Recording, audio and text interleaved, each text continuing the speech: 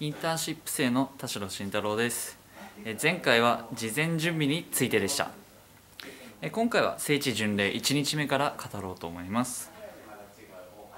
え成田空港でえ致命的なミス。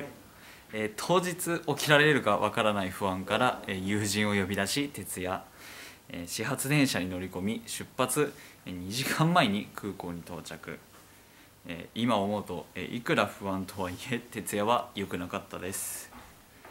えー手荷物を預け、え円をドルに両替。え映画冒頭の空港集合シーンも撮影完了し、え意気揚々と保安検査場に入場しました。しかしそこで、え入場前に空港のカウンターで受け取らないといけなかったものがあることを思い出しました。ポケット w i f i です。えこれがなければ現地で自由にネットに接続することができません、え戻って取ることも許されなかったので暗雲が立ち込める思いでした。しかし、えフリー w i f i に感謝するような出来事があり、えそうですね、え始まりから、えつまずいたものの、えホテルのチェックインまでは念入りにシミュレーションしていたのでなんとかなりました。えー機内で飲んだ、えーアルコールの影響もあり、えー海ちゃんの気持ちが分かるなーくらいには、えー余裕に、えーご飯を探しに、えーホテルを出ると、えー近場にスタバを発見、えーチョコケーキを頼んだつもりがなぜかココアを差し出されました、えースマホを取り出し、えー先の計画に悩んでいると w i f i が使えますよとの、えー表示、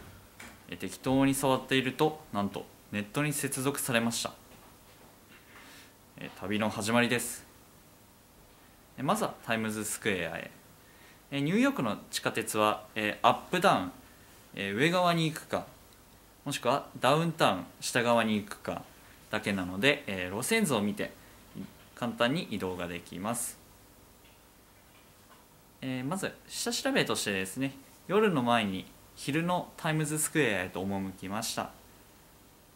ビルの側面に設置された、え液晶パネルの数々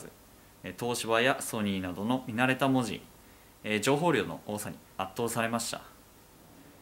えちなみに、え昼は聖地となっているビルの対面にある場所を聖地だと勘違いしていました、えそして夜の街へタイムズスクエア付近の、高級感漂うレストランでランチを済ませ、次はグランドセントラルへ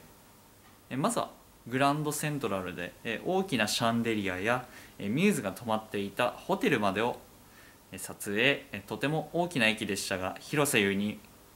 見通しがよく日本の複雑な駅で迷いがちな私でも迷うことがありませんでした。その後再びタイムズスクエアへ。ここでは新たにシンガーソングライターとの初めての出会いであるストリートや駅の出入り口を劇中の構図で撮影しました、えー人通りは劇中ほどではなかったので運が良かったかもしれません、